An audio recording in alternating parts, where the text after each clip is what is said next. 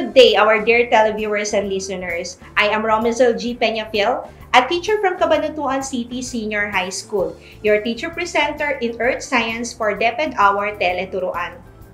Today, we will be talking about how stratified rocks are formed.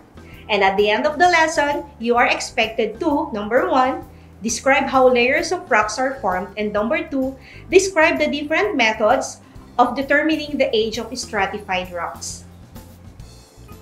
But before that, let us define first what is stratification to help you better understand our lesson. Stratification is a general term for layering in sedimentary rocks. When layering of sedimentary rocks are greater than 1 cm thick, it is referred to as beds. And while lamination is the layering in sedimentary rocks which are less than 1 cm thick. So how do sediments accumulate to form layers of rocks? When sediments accumulate, either through deposition of clastic sediments or precipitation from solution, they tend to blanket or cover the surface. The surface of accumulation is generally topographically low and flat, therefore forming tabular layers. Another is if conditions on the surface do not change, and that is constant rates of weathering, erosion, and deposition, only thick, homogeneous, and undifferentiated sedimentary rocks will form. Bedding or layering in sedimentary rocks is a reflection of the changing conditions during deposition. Beds or layers of rocks are clearly defined by change in color or shape and a change in color can reflect differences in grain size and or composition. Grain size in sedimentary rocks is commonly affected by the energy of the environment of deposition. So it's like fine grain uses low energy. And another is weathering rates are also affected by climate changes. So there you have it. We are about to have a short break. For a few reminders from the studio, please stay tuned for the continuation of the discussion on stratification of rocks.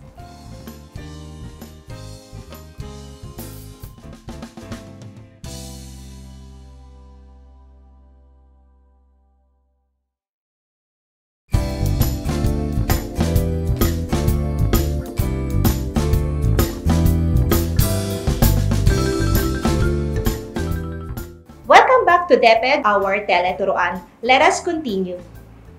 Which layer is the top and which is the bottom? What do you think would help us in determining the correct sequence of layers? Superposition states that in an undisturbed accumulation occurs, the bottom layers was formed before the top layer. However, rocks may be subjected to deformation which may cause discrepancies in determining the correct sequence of layers and geological history of an area. So in this case, there are two methods that we can use to help us determine the age of the stratified rocks, the relative and absolute dating. Relative dating is when you give the age of a rock or fossil compared to another rock or fossil. For example, rock A is older than rock B, and an actual age in years is not determined. Relative dating applies the following principles. The principle of original horizontality, the law of superposition, principle of lateral continuity, principle of cross-cutting relationships, and principle of unconformity principle of original horizontality happens when sediments are deposited that form horizontal or flat layers. Law of superposition states that the deeper layer must be older than those closer to the surface because new rock layers are always deposited on top of existing rock layers. Principle of lateral continuity. Rock layers extend laterally and cover very broad areas, especially if they are formed at the bottom of ancient seas. So as long as there is sufficient supply of sediments, the layer will continue to extend further. The principle of cross-cutting relationships. It states that a layer or stratum must always be older than any feature that cuts or disrupts it. For example, if a layer is cut by a fault, the layer is older than the fault that cuts across it. The principle of unconformity. It states that rocks above an unconformity are younger than the rocks below. There are three different types of unconformity. The first one is the angular unconformity. Attitude of beds above and below the surface of erosion or unconformity are not the same. Next is the nonconformity.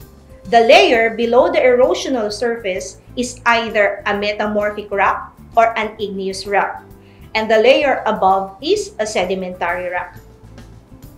And the third type is the disconformity. Sedimentary rock strata above and below the surface of erosion are parallel to each other.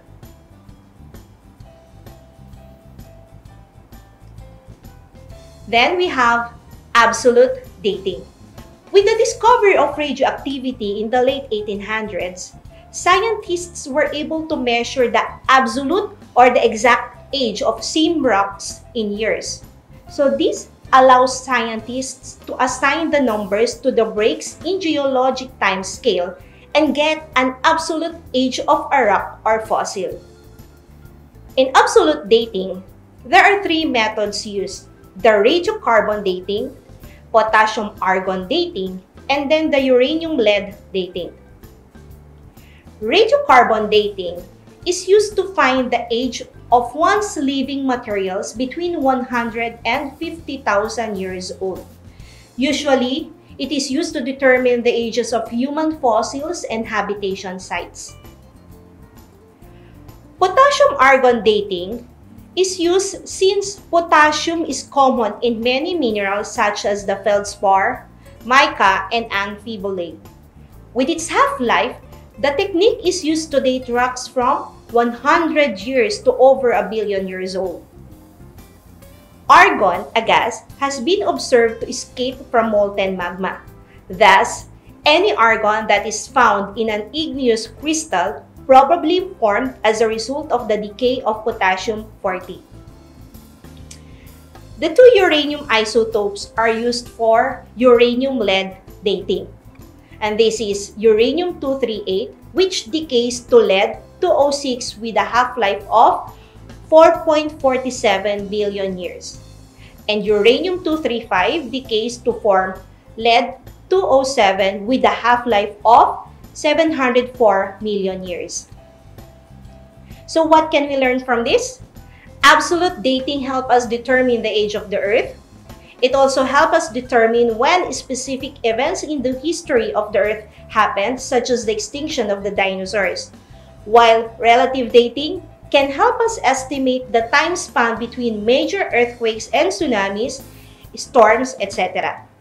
And also, it can help us determine the order that life forms develop on Earth. So that's all for now. Once again, this is Romisel G. Peñafiel of Cabanatuan City Senior High School. See you again next time.